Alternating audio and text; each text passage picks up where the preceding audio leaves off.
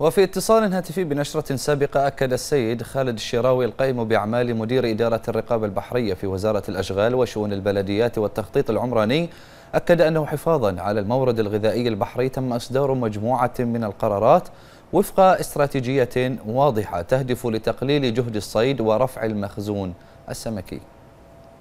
اليوم الله يسلمك لما نتحدث عن الثروة البحرية فالحديث يكون عن واحدة من أهم موارد الأمن الغذائي عندنا في البحرين. لذلك وحفاظا على هذا المورد تم إصدار مجموعة من القرارات وفق استراتيجية واضحة تهدف لتقليل جهد الصيد ورفع المخزون السمكي، وكان من أهم هذه القرارات صدور قرار بوقت صيد الربيان بطريقه الكرام. وهو الأمر اللي ما يختلف عليه أي شخص مهتم بالشأن البحري من ناحية الضرر الحاصل منه.